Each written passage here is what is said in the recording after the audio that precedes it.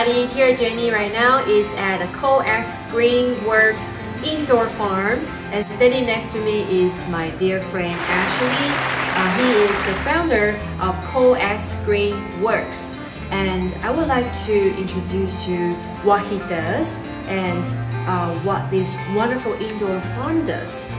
Uh, my name is Ashley, as you know, and I am the uh, founder and farmer here at Coex Green Works, right here in Taichung. Okay, so what uh, got you into the business of uh, baby greens growing?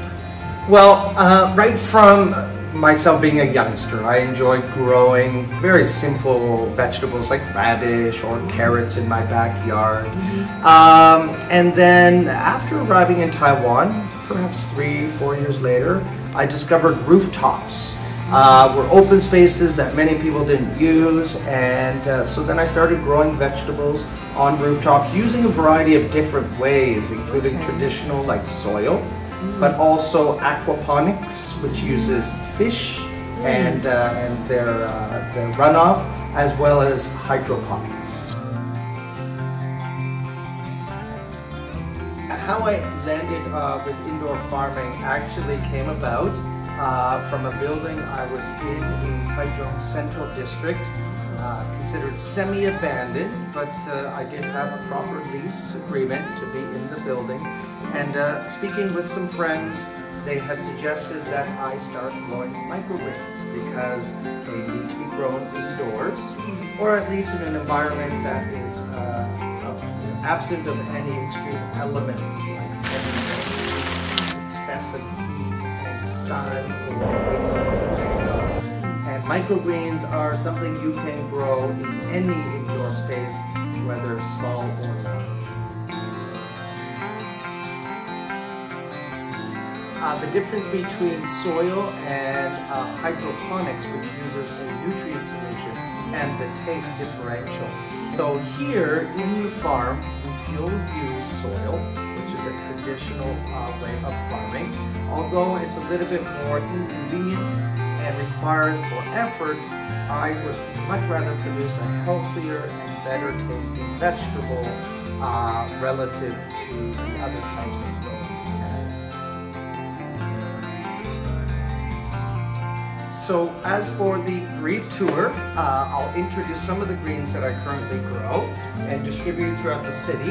Uh, just next to me here is kale. And this is quite a popular one. It's got a gorgeous dark green tint to the leaf and a beautiful uh, purple, sorry, purple stem that you can see there. Just below the kale is another popular one, and this is the one I mentioned earlier, arugula.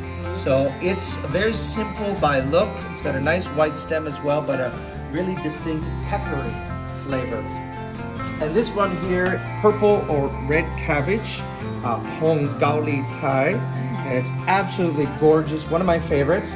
It's got a green leaf, but around the outside edge, a purple uh, lining, and as well another purple stemmed microgreen. Xiaobai Cai, yep, or Chinese cabbage. Down below that uh, is broccoli, which is a standard that I use for the mixed salads. Because it's a younger plant, it's got a stronger flavor. Uh, some say maybe a little bit on the bitter side, uh, but it's got a very, very similar taste to the fully grown broccoli. Okay, so why do I want to do this? Well, I, I absolutely enjoy growing vegetables.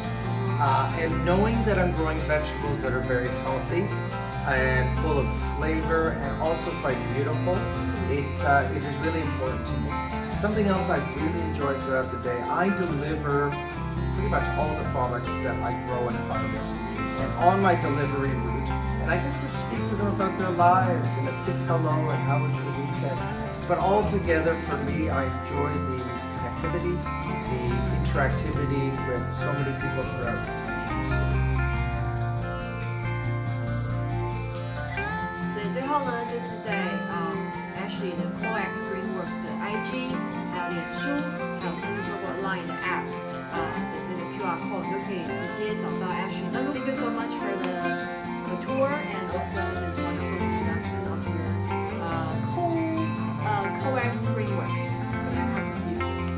Coming by, and I always have a uh, what I call open door policy. So visitors are always welcome to Yeah. come by, see what we're doing here, and ask as many questions as you'd like. So thank you, Jenna, for coming by. Thank you, Ashley. Have a good one.